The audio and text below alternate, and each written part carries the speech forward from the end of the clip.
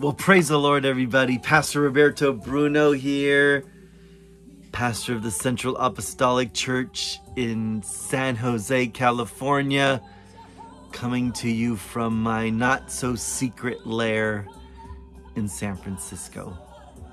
God bless you. I hope and pray that you are well. For my heart goes out to you, and hopefully you could feel the love. Why? Because Jesus is so good to us. Why? Because God transforms us, yeah, and makes us into different people. Imperfect people, that stays the same. But He energizes us with His Spirit, with His love, cleansing us forgiving our daily sins if we go to Him. Just what an amazing, an amazing life that we can have if we just give our lives to, to Him and surrendering every part, which is so easy to say and probably a Christian cliche.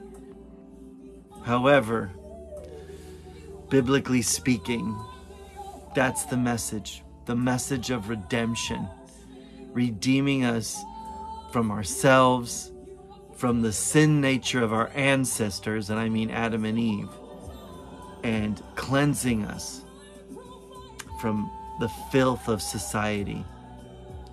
God is, is amazing. He's just amazing.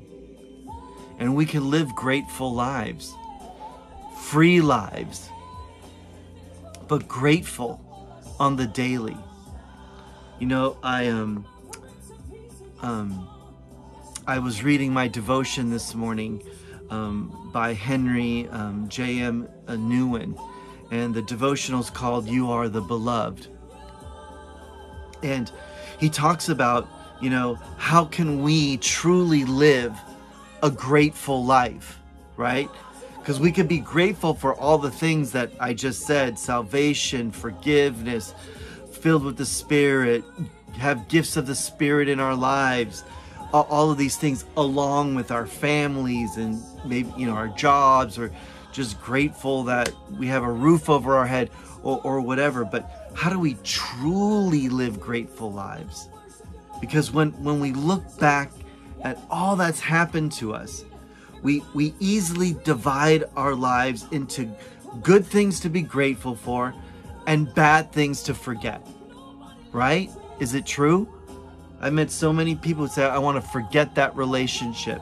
I want to forget my childhood. I want to forget that season of sickness. And we, we divide our lives. You know, yeah, I'm grateful for this and that and the other, but not that or the other.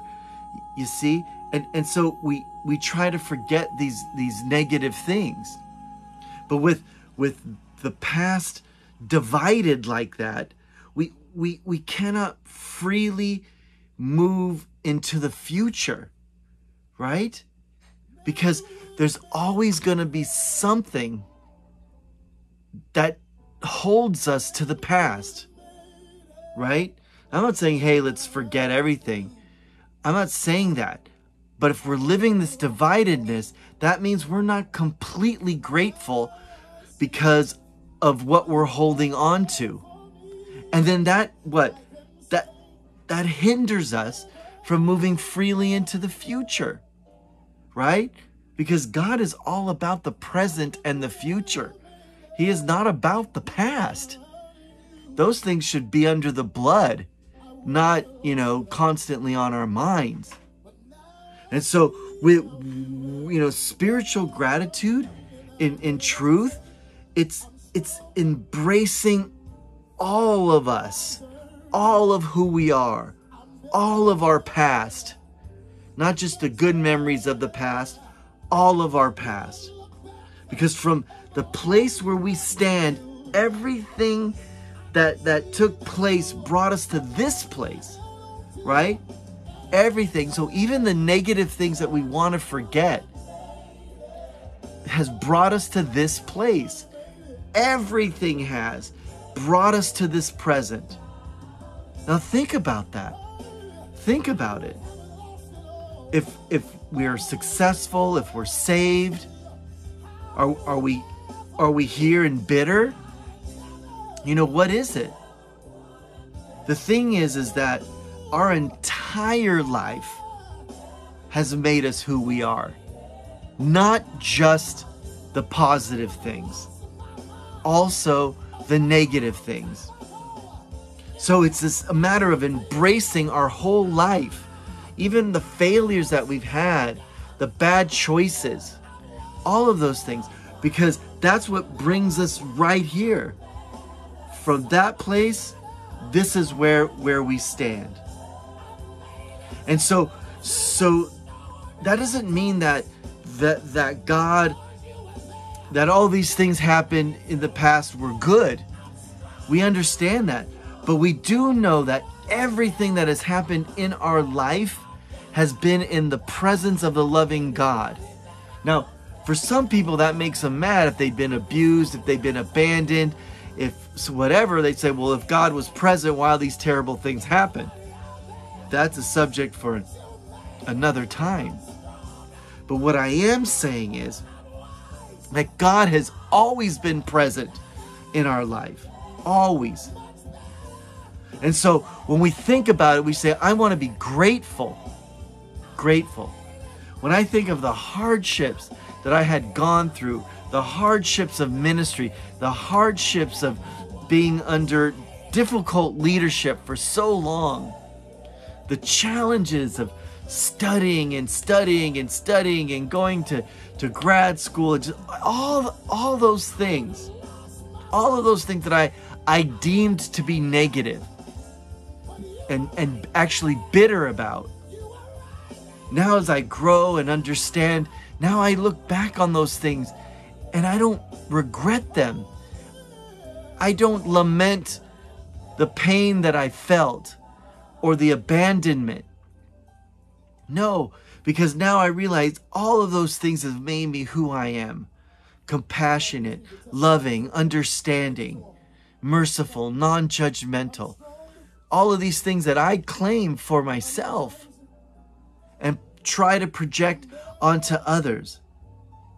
So we have a lot to be grateful for, not just the good things that we like right now, but even the difficult trails tr- and trials and valleys of shadows of death that we pass through, that we should look back and say, God, at a minimum, say, God brought me through that.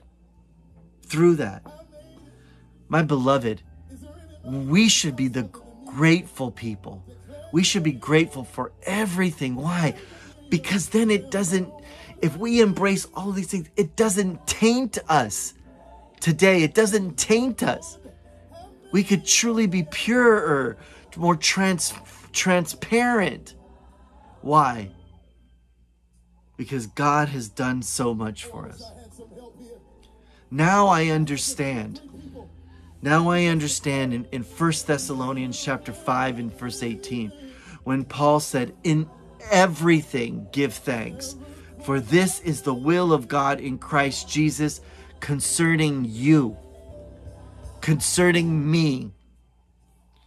Now I understand this short verse in everything, not just the trials I'm having today, but everything. Be encouraged, beloved. Be encouraged and be grateful. If you haven't surrendered the past, surrender it, give it to Him so you can begin to heal and eventually look back and say, Thank you, Lord. Thank you.